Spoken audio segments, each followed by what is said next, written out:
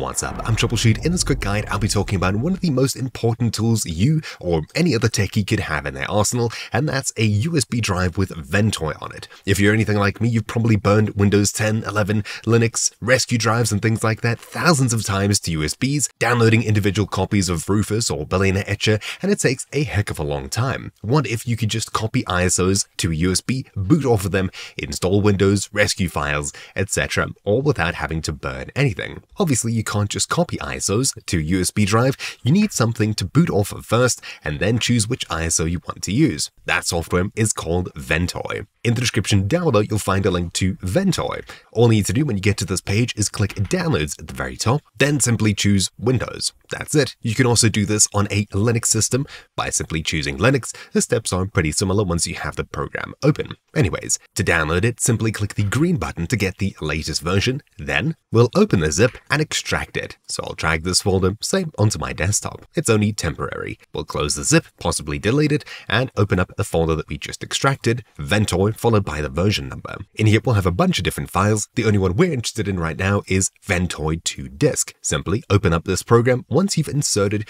your USB flash drive. Obviously, you'll want to make sure it's quite a few gigs, especially if you're going to be putting multiple ISOs on here, such as Windows 10, 11, Linux, and a couple of rescue things like Hiren's or something like that. Anyways, with a suitable sized USB plugged in, I'll open up Ventoy2Disk, and I've got an 8 gig USB here that should just be detected and should pop up as the only item here. It'll show all of your removable drives here, so just make sure you have the correct one selected before we do anything. Awesome. On top of this, check your drive to make sure you have nothing important on it as we will be wiping it completely. So my E drive here has a bunch of files on it. None of these are worth anything to me, so I'll delete them. As such, making sure it's completely empty, which it is, we'll go ahead and flash it. So all we need to do is click install and yes, yes once more, and now we've confirmed that this drive will be formatted and Ventoy will be written onto it. Depending on the speed of your drive, I'd definitely recommend at least USB 3, it could take a short minute or two. When it's done, your USB drive will be redetected and, clicking through this, you'll see the version of the device you currently have, and of course in the future, if you choose to update Ventoy, just open up the program,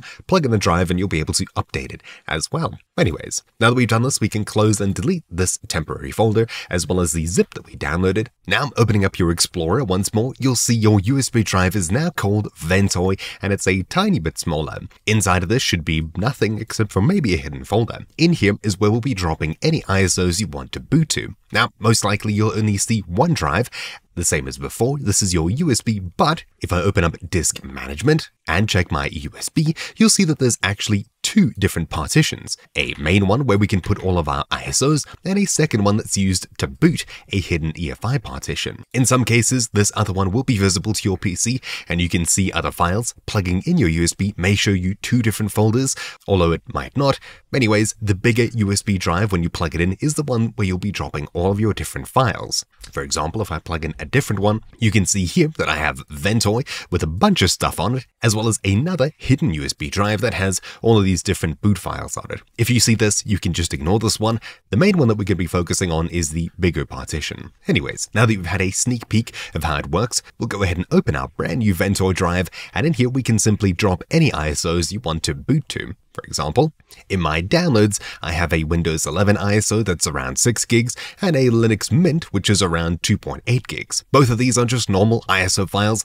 What we can do is drag them to our USB drive. Mine's a little bit too small to fit both, so I'll just be putting the Linux Mint one here. But of course, you've already seen that we can have hundreds of different files, Windows 10, 11, etc. Wireless ISO file copies, I'll show you what I have on mine. On mine, you can see that I have Linux that I installed and played around with. I originally dual booted Endeavour OS, but then switched to Arch. I have Hiren's boot CD, which is filled with a bunch of different fantastic tools for rescuing files, drives, etc. Manjaro, another ISO for Linux, as well as Ubuntu, Windows 10, and Windows 11. These Windows 10 and 11 ISOs are super useful to have handy, especially if they're all up to date, as you can boot into them as rescue drives to run command prompt, rebuild, broken partitions and things like that, etc. Super useful to have around on top of any rescue type ISOs such as Hiren's boot CD. You can see that I have a couple of other random files in here. These won't be picked up at all by the menu. You can copy whatever else you want on here, though I'd recommend keeping it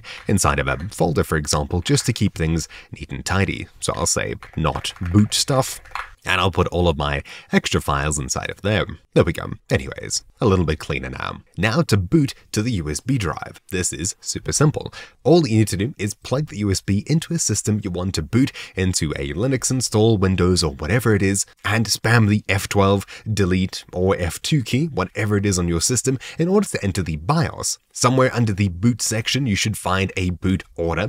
All you need to do is push the USB drive to the very front. And by doing so, you should be able to boot into Ventoy. Let's see what that looks like. And there we go, we've now booted to it. In order to move around in this, just use your arrow keys and you can choose any ISO or IMG file that you copied here. So I've got memtest, Windows, Windows 11 installer, and Linux Mint for example. If I hit enter for Linux Mint and choose boot normal mode, it'll start up as if I just burned that Super USB and booted to it itself. So there you go. There's the Mint logo, and shortly after, you'll see our cursor appears, and depending on the speed of your drive, a Linux Mint desktop, for example.